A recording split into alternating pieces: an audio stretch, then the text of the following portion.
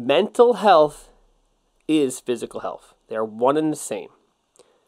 When you feel like your ideas are under attack and that like half the country and the people around you are like savages, it presses on your health.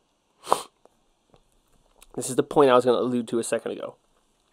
Depression is unprocessed fear of the past. Anxiety is unprocessed fear of the future. Negative emotion about what has happened, negative emotion about what is going to happen, right?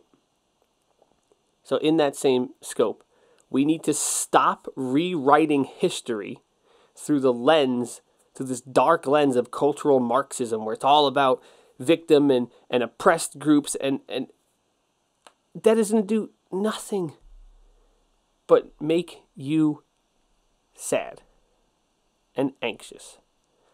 All we can do is learn from the past. Don't don't tell me that Thomas Jefferson was a piece of crap because he had slaves. Obviously, it's bad he had slaves. Slavery is a horrible thing. It is the darkest mark on U.S. history. But that's also the man that wrote this document right here next to me on the wall. From the hand, from the pen of that man, wrote, We hold these truths to be self evident that all man is created equal, right? The principle was there, the times were not there. Moral relativism can be a, a dangerous thing, right? All we can do is look at that situation and say, that was a great idea. All men are created equal. The world changed at the writing of that pen. The U.S. The, the U.S. founding documents that say life, liberty, and the pursuit of happiness are the only foundational documents in the history of the world that include the word happiness. No other country mentions that. We need to take the good from the past and learn from the good. We need to take the bad from the past, learn from the past. Don't make those mistakes. The principles and the applications aren't always the same. We could always learn. Do not.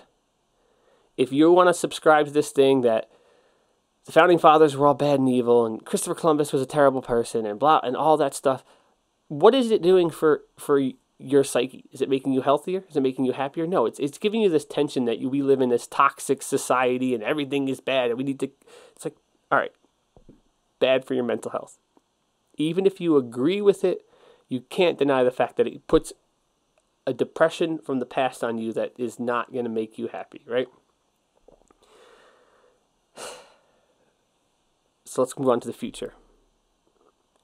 So I'm, nobody is out to get you. The political polarization puts this pressure on you, this fear of the past, you know, like the, the, the climate change stuff. The world's going to be over in 10 years.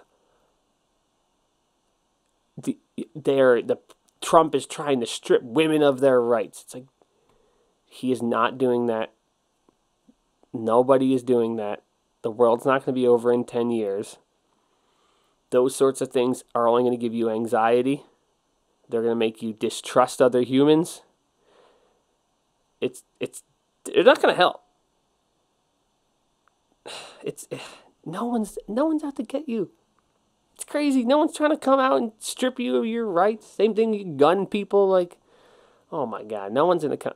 There's no way, no way that in the United States of America they're gonna pass legislation where they're gonna come around and collect your guns. That is never gonna happen. Voluntary buybacks, maybe that's reasonable. Both people, both none of that crazy stuff is gonna happen.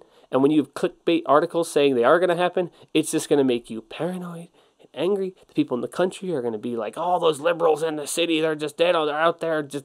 And all the you young people in the cities, you're going to, all those country folk, they're all simpletons. And stop. There's these lines I've been saying over and over. No one thinks they're a bad person.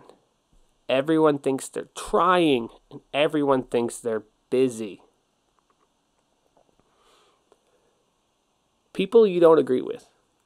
The guy, the guy you want to call the simpleton, the redneck guy out in Wayne County, he brings things to the table that you don't. And you bring things to the table that they don't. We all need to meet in the middle to have conversations. The world's not burning down. It's take a deep breath. We see things from different points of view.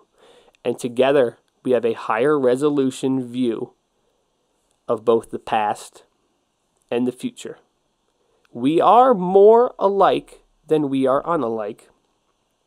We are stronger and more healthy together. Don't wrench alone. We all have a lot of love to give. And and that love and that conversation and that affection, that's a that's a currency which which which is ROI, return on investment, is is better. It's stronger. It has compound interest when when you spend that currency of love and affection with your friends and your family and your strangers. You'll get more out of it doing it that way than doing it on yourself. You invest a dollar in yourself, you get a dollar. You invest a dollar in a friend, you might get back a buck fifty one day, maybe two dollars. Send out the good, bring in the good, right?